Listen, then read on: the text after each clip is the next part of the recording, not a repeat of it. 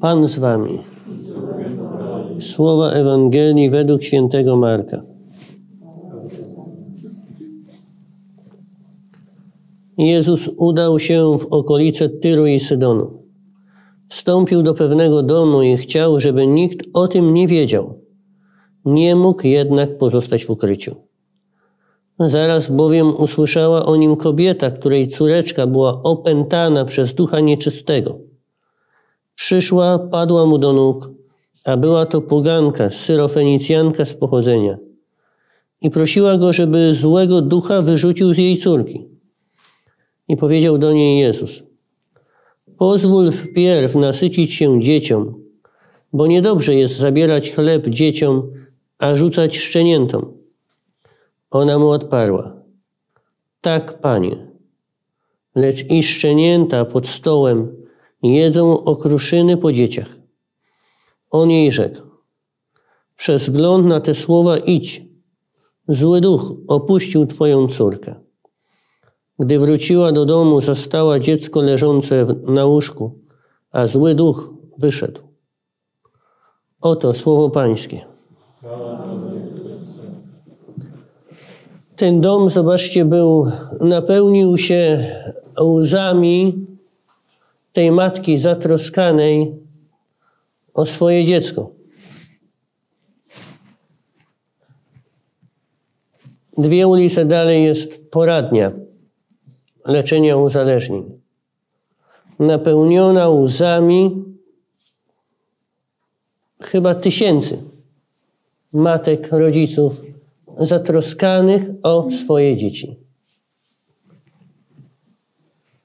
Dzieci uzależnione od komputerów, narkotyków, dzieci z nerwicami, dzieci w depresjach, dzieci, które są pokaleczone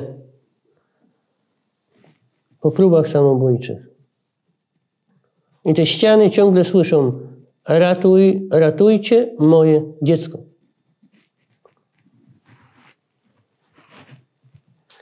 Zobaczcie, że, że Chrystus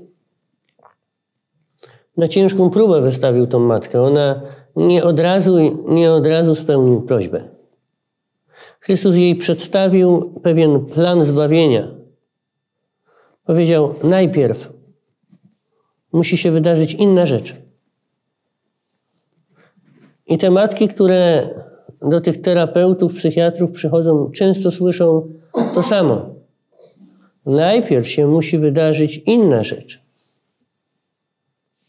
I często słyszą, czy ty rozmawiasz z swoim dzieckiem?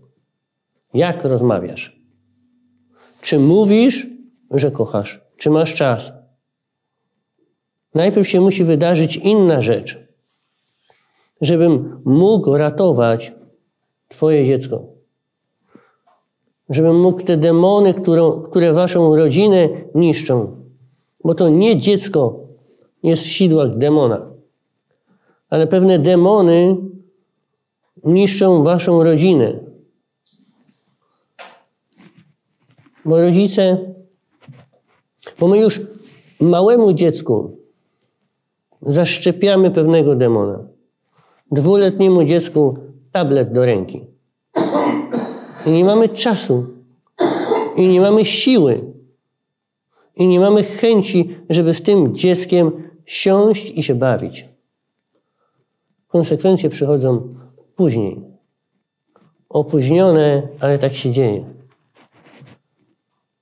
Wielu z nas, dorosłych, sprzedało demona dziecku, wprowadzając go na różne sposoby w świat zła.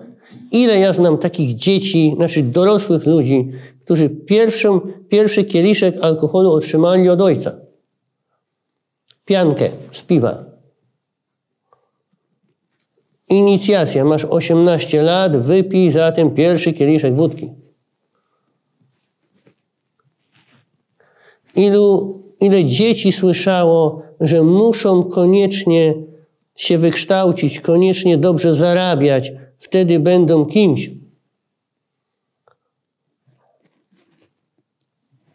Chrystus mówi, najpierw się musi wydarzyć coś innego. Najpierw musisz dostrzec, że demon ciebie oszukał. Dlatego zobaczcie, ona odpowiada: Tak, panie. Jeżeli ja zaczynam pełnić wolę Boga, demony same wyjdą. Nie potrzeba czarów.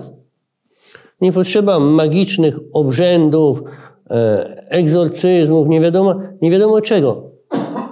Wystarczy, że zaczynam pełnić wolę Boga, że zaczynam się nawracać, że zaczynam dostrzegać, że jestem ojcem, który jest wycofany, który, który całą władzę rodzicielską przekazał mamie albo babci, bo ja muszę pracować. Ja muszę harować. Jeżeli to zrozumiem, że ja jestem ojcem, że ja jestem mężczyzną w tej rodzinie,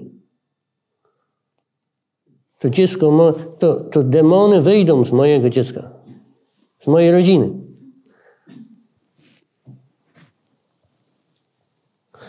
Bo zobaczcie, Chrystus chce nas uzdrawiać nie w sposób taki magiczny, tylko przy Twojej pomocy, przy współpracy z człowiekiem.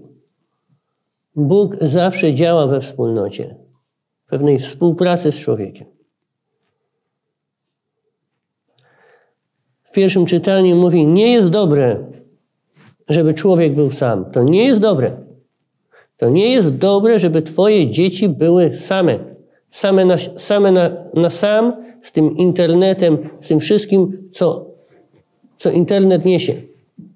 Nie jest dobre, żebyś ty człowieku był sam na sam z tymi różnymi ideologiami, które, które zatruwają twoje serce. Nie jest dobre, żeby twoja żona spędzała wieczór samotnie. Nie jest dobre, żebyś ty człowieku, mężczyzną, spędzał czas bez niej. To nie jest dobre, mówi Bóg. Nie jest dobre, abyśmy byli sami. Potrzebujemy ciągle na nowo tworzyć wspólnotę. Potrzebujemy ciągle na nowo słyszeć, co nam Bóg mówi. Wystarczy, że Jego wolę będziemy pełnić. Demony same będą wyłazić. Prośmy Ducha Świętego o tą pokorę, abyśmy mogli słyszeć Jego głos. Rzeczywiście wypełnić Jego wolę.